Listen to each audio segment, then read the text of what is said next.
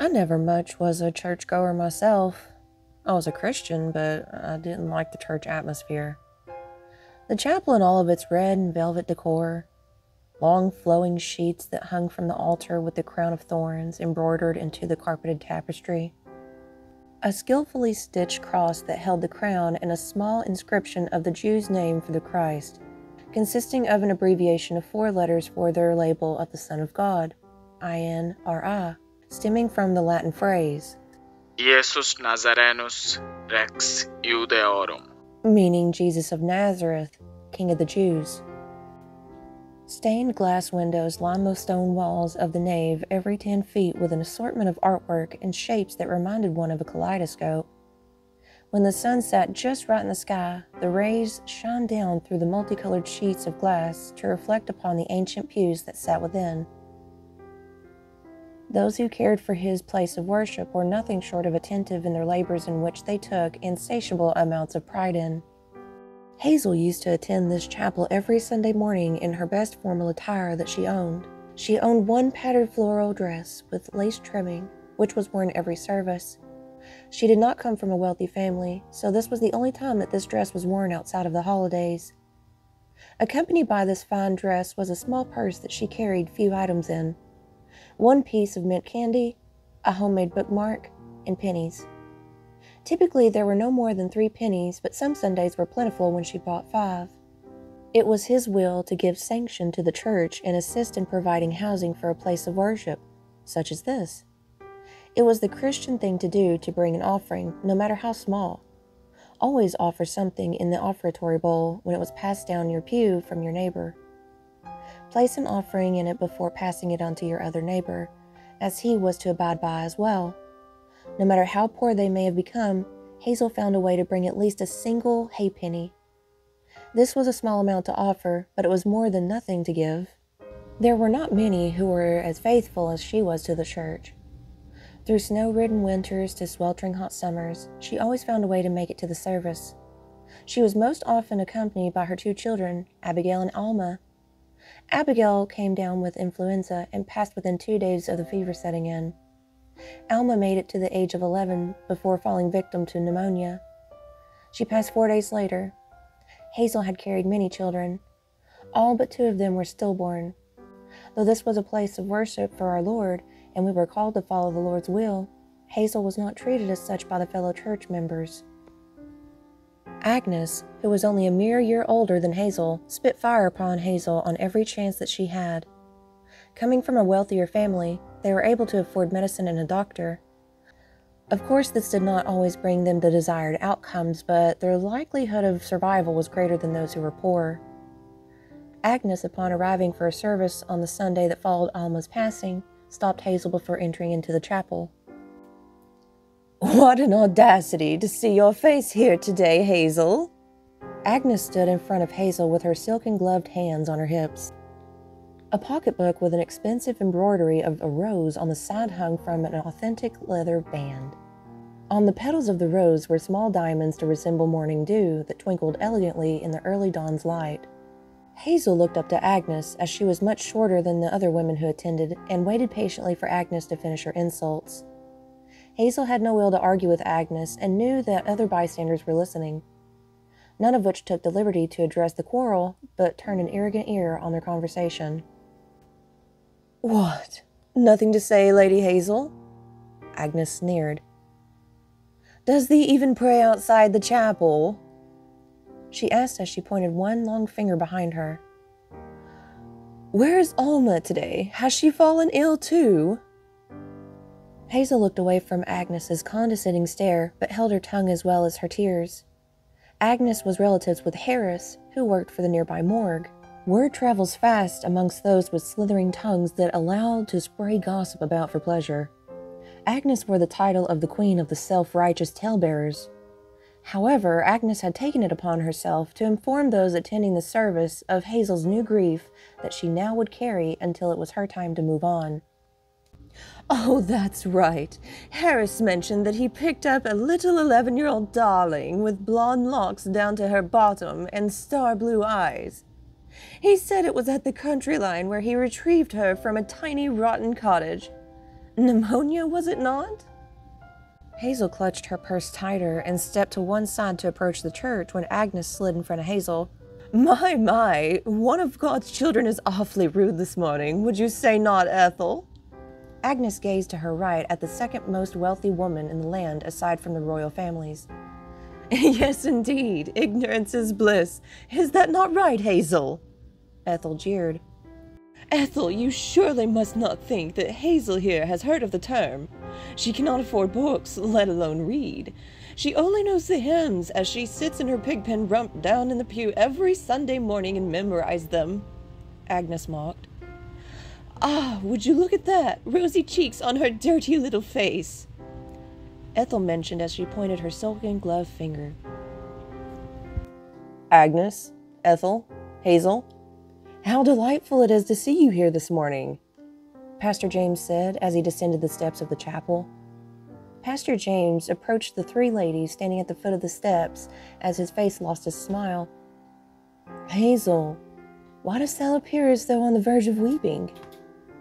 He asked as he gently took her free hand.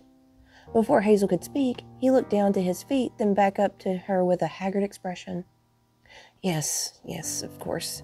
After our service today, if you wouldn't mind to stay a moment, may I accompany you to the cemetery? Pastor James, I greatly appreciate your humble offer, but you mustn't dirty your formal footwear merely to accompany an old fool to visit her deceased. What if I were to say that I have a change of footwear that is fit for farming just inside the chapel for such an occasion? He smiled warmly at her. Well, I. Th- thank you, Pastor, Hazel said softly. From the corner of her eye, the two wealthy woman's lips had turned but into thin lines of disapproval as their brow furrowed deeply. Agnes stuck her nose in the air as she turned on her heel and began ascending the steps, followed by Ethel. Come, service is about to start. Hazel had a particular seating that she fancied on the first pew to the right, she sat closest to the aisle as the two tithing presenters came around to either side and handed the tithing plates to the first person to give their tithing, then pass on. Hazel placed in two pennies and passed it on to her neighbor as she stared up at the altar and silently prayed. As the plates were passed down, the chapel filled with murmuring of chatter. Agnes and Ethel, who took a liking to the third row down, just behind Hazel, had received the plate. Ethel, what did you bring for our chapel? Agnes said loudly as she took the plate. Harold sent me with twenty dollars, Agnes. And you? My, what a grand offering! I've brought thirty with me today. Agnes giggled. Hazel closed her eyes and continued to pray silently until the offering was complete and the service would resume its last quarter. Unlike some here, we bring something of value to give to our good Lord and Savior.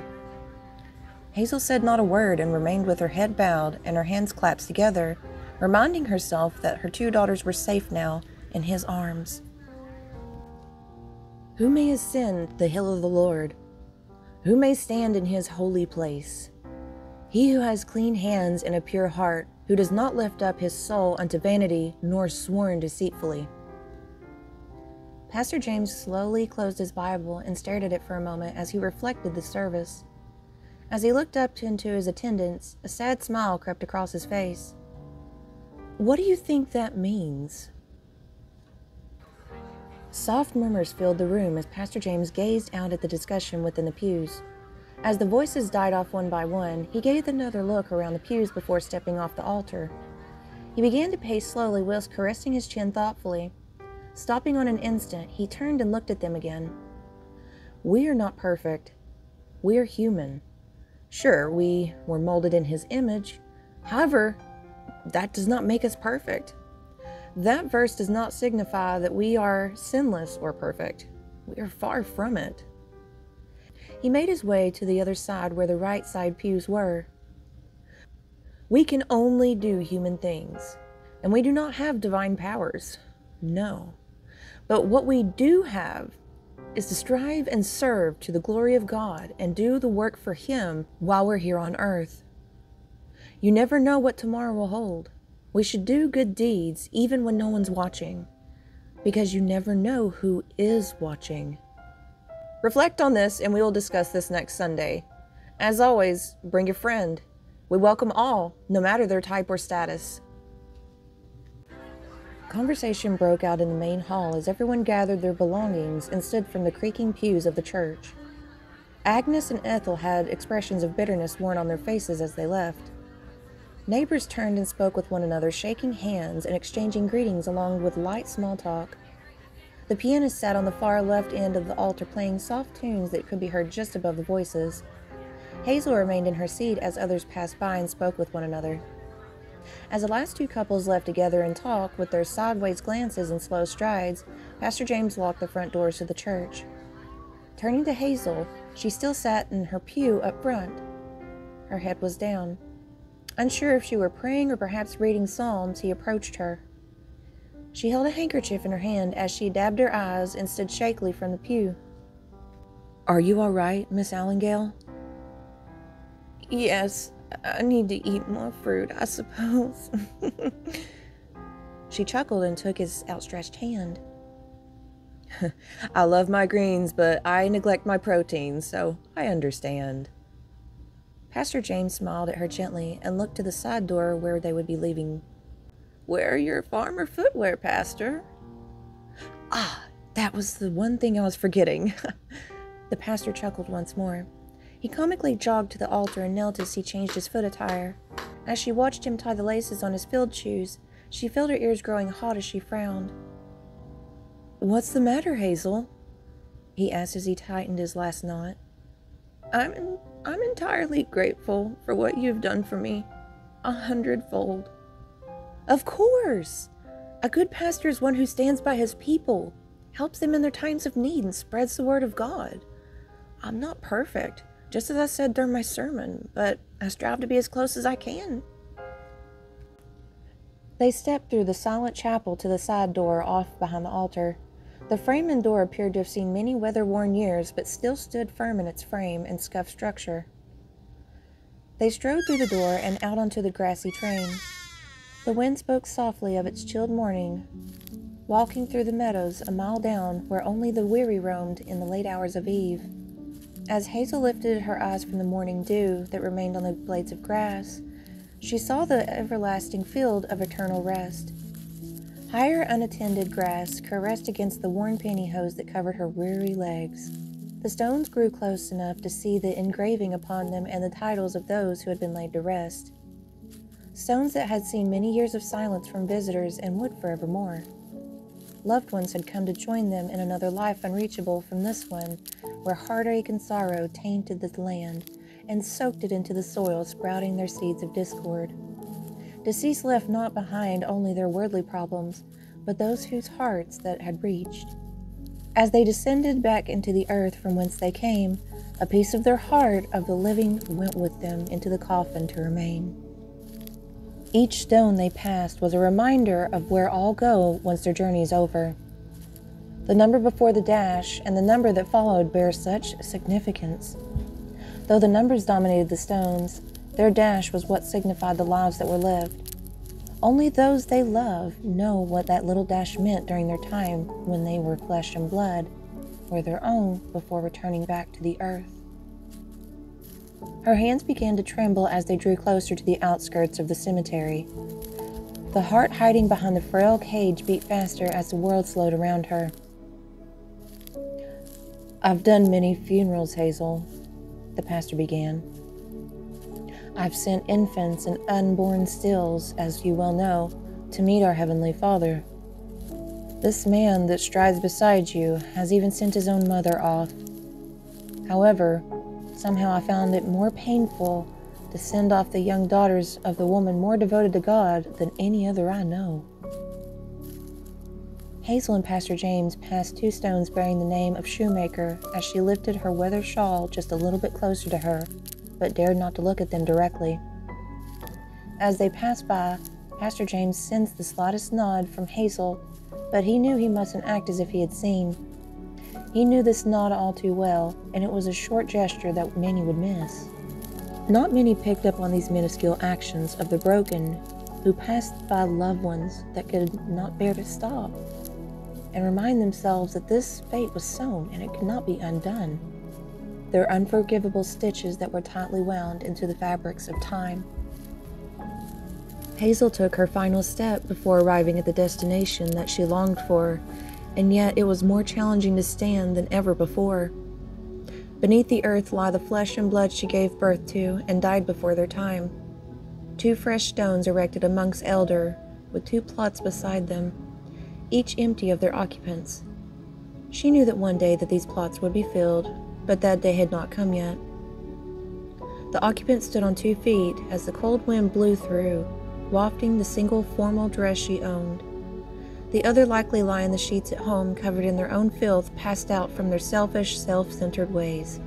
The strong stench of ammonia likely filled the sheets, while one lie sprawled in their own vomit and vile sins.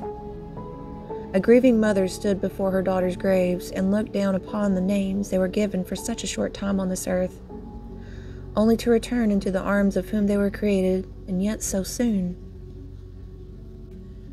Pork dumplings filled her chilly nostrils as she thought of Alma and Abigail sitting down at the table with their ruffled dresses flowing about while the rumps took the seats in such a tomboyish fashion. All girls seem as though they are boys before learning their feminine manners, now do they not?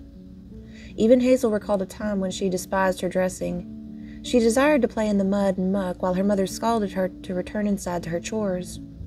And yet her mind discards the thought of her childhood, as far away as it seemed, and returned to a time when the, her two offspring still breathed the same air as she.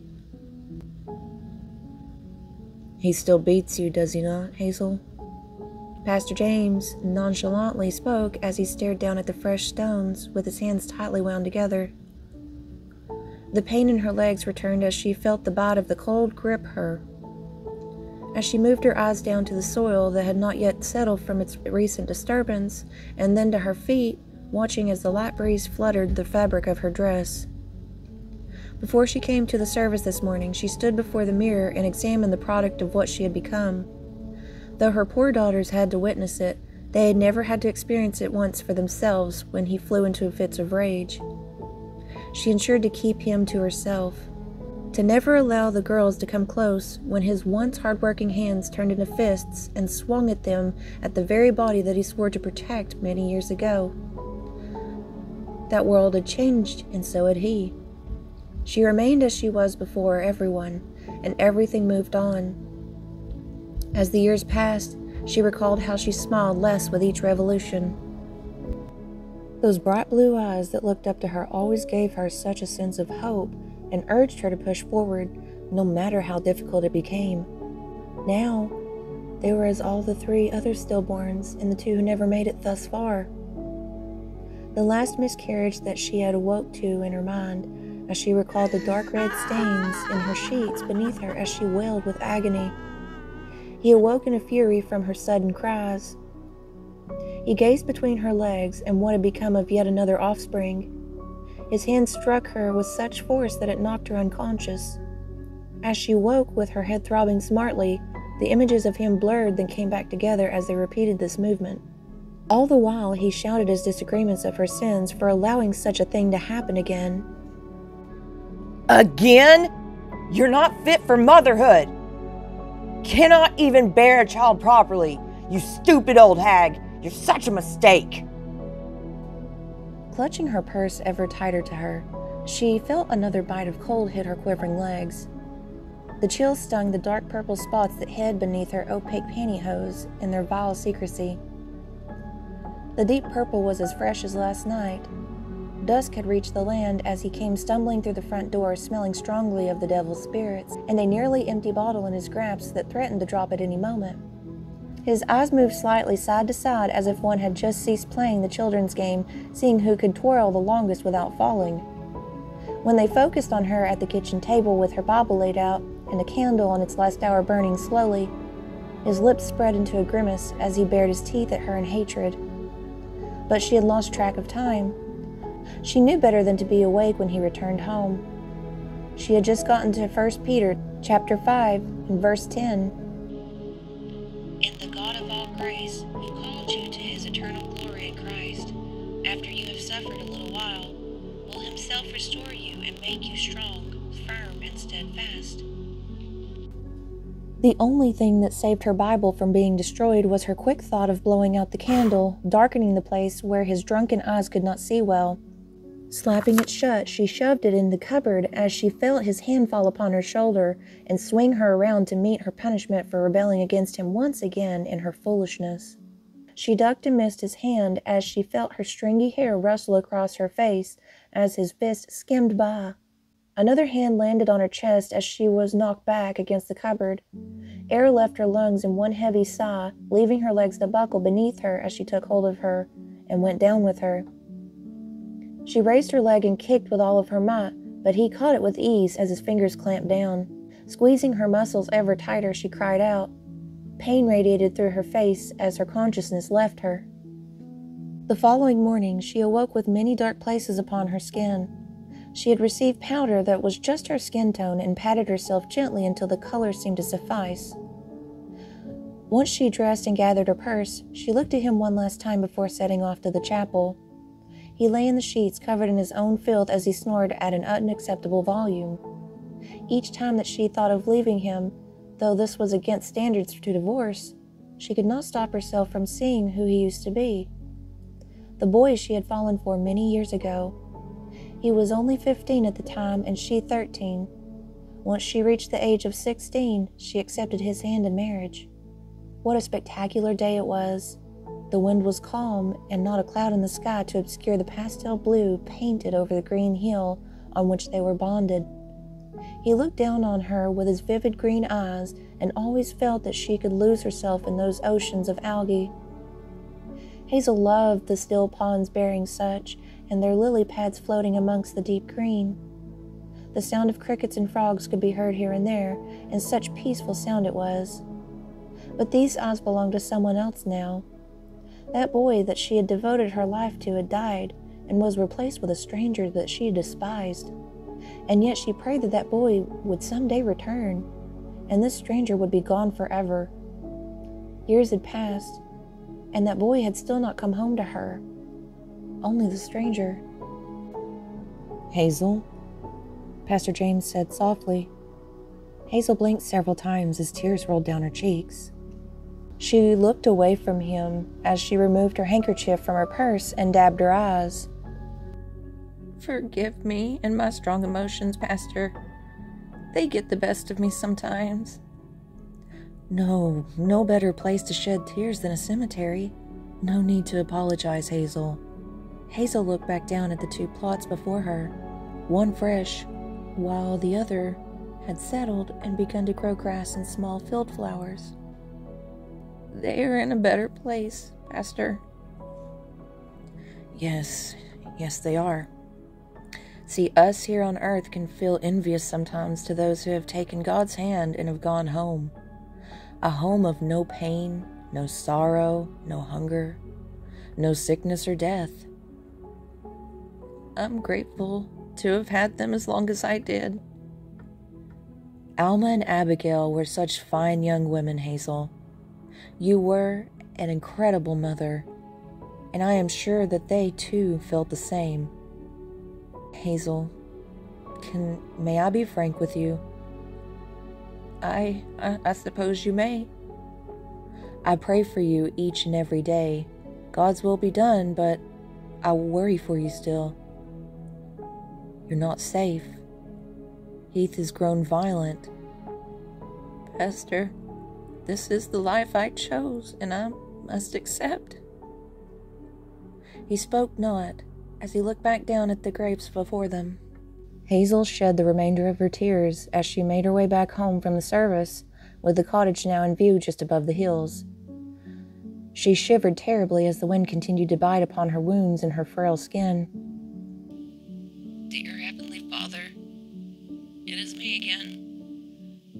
Ask of you once more, please bring back the boy I once knew. I feel as though I am a widow living under the same roof with a stranger walking around in Heath's skin. Although my request is selfish, I still ask of you to at least hear my plea. Let your will be done, but consider my prayers. As she approached the cottage, she noticed that the front door was open as she felt fright tingle in her fingertips. Quickening her walk, she asked herself if she had not latched the door properly before leaving this morning and hoped that no animals had wandered their way inside. Stepping inside, she glanced around until she noticed movement in the corner. Heath? Where have you been? He uttered in a gravelly voice. The chapel, as every Sunday. The sun is nearing noon. You were to travel well before now. I visited Alma and Abigail after the service. Shut up! Hazel flinched as she took a step back. I do not want to ever hear those sickly whores' names again. Hazel said nothing as her eyes filled with tears. Heath stood from his seat as he made his way over to her. The smell of whiskey hit her nostrils. Heath, it is a sin to drink on the morn of the Sabbath. She fell to the floor as he struck her temple. Pain radiated through her skin and her face, flowing through her limbs, creating pins and needles. No whore of mine will tell me what to do in my own house! He shouted. Hazel did not spit insults as she longed to, but remained silent as she placed her hands on the cold wooden floor and forced her arms to push herself up off the ground. I know what you were doing. You're fucking around, were you not? Heath growled. She looked at him wearily. Heath, why must you think I do such things? I merely go to the church on Sundays and rarely leave the cottage, too. Shut up! You defy your husband again, and I'll grant your wish to be with your so called God and those things you called children. Heath, I'm not having an affair, she cried. Swiping the bottle from the nearby table, he rose the bottle as the strangers showed their rage to her once more. Hazel laid her head down on the floor and covered her eyes as she sobbed. Dear Heavenly Father, please forgive me.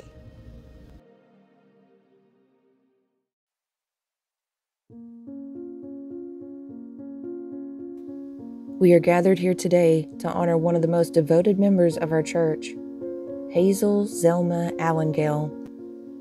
She passed away Sunday evening. She is survived by her husband Heath Alva Allengale. She is preceded in death by her parents, Alice Wilma Shoemaker and Harold William Shoemaker, daughters Alma and Abigail Allengale. No other relatives are known or live in this area. Serves her right. Agnes whispered to Ethel. Would you like to say something in memory of Hazel, Agnes? Pastor James asked. A condescending tone could be detected in his words. There is nothing to say, Agnes stated. Ethel? Ethel shook her head and said nothing. I have to ask all who are attending Hazel's funeral to be respectful in my church. This is the house of the Lord, and I will not have such cruel and dishonest comments made during the service. She offered little to nothing to this church, Agnes mentioned. Proverbs 14:31 He who opposes the poor shows contempt for their maker, but whoever is kind to the needy honors God. Agnes visibly shrunk in her seat and said no more. Let me add that I knew Hazel personally. She came to me often to talk in her times of depression.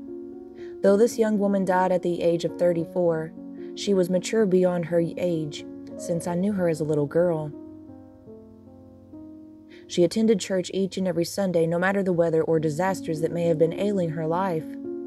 She never scorned anyone while in the house of God, and always was such a caring person. I am blessed to have known her so well, and that I had the time with her that I did. Though her days were cut short, she is now in a better place, and much better off than the rest of us who are still here. She is joining her parents and her two daughters, and she will never be in pain again.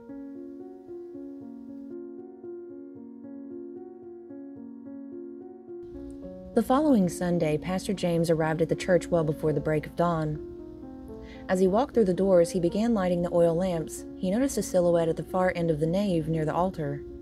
With no one having been inside the church, he grew cautious as he quietened his keys in his hand.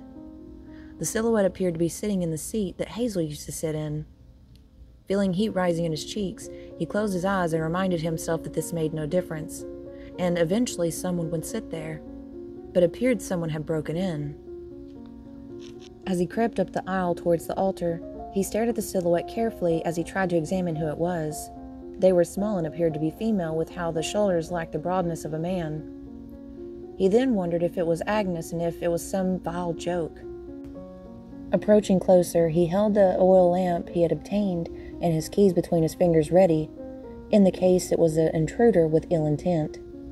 Stringy hair flowed down the back of a tired woman with sky blue eyes wearing a floral dress, clutching a small pocketbook. She turned to him and smiled softly before returning her eyes to the altar as if she were listening to something ahead of her. Hazel? Pastor James breathed shakily. She did not return her eyes to him and remained silent. He asked himself if perhaps he was experiencing a spell from being overwhelmed. The types mentioned mainly by the women who attended here. In emotional fits or while under a great deal, they would begin to hear and see things that were not present. Though he longed to know what was real or not, he recalled having the funeral service and having to quieten the unruly Agnes in her pride. This was no dream. Feeling much too fearful to reaching out to try to touch her, he thought of something else that would suffice. He continued up to the altar and placed his oil lamp on the top while placing his keys in his pocket. Pulling the Bible from the altar stand, he opened it to the last page they had covered in the previous service, one which she had attended. Using the lamp to locate a spot in which Psalms he had covered, he pinpointed where he left off. He began as if he were starting his sermon. Good morning.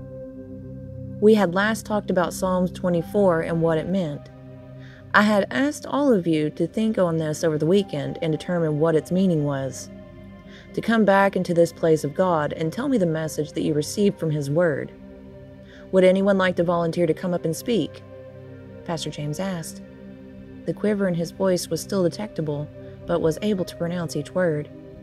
Hazel seemed to be listening but said nothing. No one? He asked for good measure. He then looked down at her in her seat. Hazel, would you like to share your thoughts? Her eyes merely stared up at him with an unsettling longing as if she were listening but could not respond. Not as if she were staring at the altar, but him and acknowledging that he was standing there. It seemed as though nothing more was present. He then wondered if he might be actually seeing things. Placing his hands together and leaning his head forward against them while resting his elbows on the altar stand, he began to pray. Dear God, am I hallucinating? Grant me clarity and serenity. Grant me the courage and wisdom to know what to do. The door to the chapel opened as a tall, lean figure walked inside. The figure stumbled sideways, running into one of the tables that held spare Bibles and hymns, knocking them off into the floor. Mud stuck on the man's shoes as he left globs of it behind on the polished wood floor, then onto the items thrown down. Pages rattled as the cover lifted from his boots, dragging the book along with it to be discarded and fall back to the floor with a heavy thud.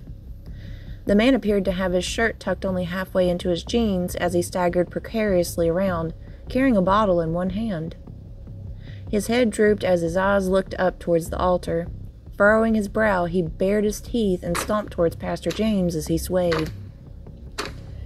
You. He growled. I've been looking for you, you holy man. You piece of shit. You were screwing around with her, weren't you? Pastor James stared at the man and had yet to move his hands from their position of prayer. The man stormed closer until coming to a sudden halt as he caught sight of the front pew, appearing as though he saw the woman sitting there.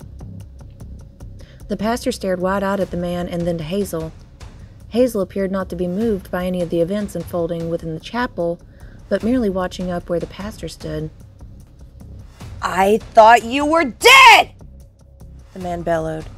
You bitch! You fucking cunt! You goddamn whore! Hazel turned to him during this spat of insults and appeared rapidly before him. Not as herself, but as something that frightened the pastor profoundly. Before Heath floated the same floral dress, but significantly tattered, covered in stains of earth. The body was greatly withered, while her nails had grown long, jagged, and sharp. Her face bore two empty black holes, and a single sphere in each of them that burned as her mouth opened up, letting out an ear piercing wail. The glass of the church rattled, as did the vases on the stands. The pastor clapped his hands over his ears and scrutinized the pair in the aisle. Heath was lifted into the air by the wraith like appearance of Hazel as she continued to wail. His face had grown pale as he stared at what had become of his wife. Inches from the ground, his feet and legs limply floated in the air while his mouth regained open in a hole of shock. They suddenly plunged against the pew behind him, knocking it from its bolted place, and slammed against the wall as Heath cried out. The pastor watched Heath's back sharply bend as his head went back, hearing a sickening snap, but he somehow lived through it. The pastor heard him scream as she pulled his limp body from the pew. They catapulted towards the ceiling as he cried for mercy for the first time in his life. As they reached the roof, claws tore through his back, spraying blood onto the floor below. Blood and bile choked out of his mouth as he hung limply in the air by the long razors protruding several inches through his shirt. The wraith removed her hand from Heath as she reared back and lunged at him open palmed, creating a wave that knocked the pastor off his feet. Heath flew backward, slamming against the crucifix empty of Christ while the nails remained on the cross. Heath hung from the cross by his hands while blood and bile poured down his shirt and jeans. The pastor turned to Heath before heaving upon the floor. He had not eaten much due to his grief of Hazel and finished his purge quickly. He stared down at his disgust, too afraid to find the wraith were still present.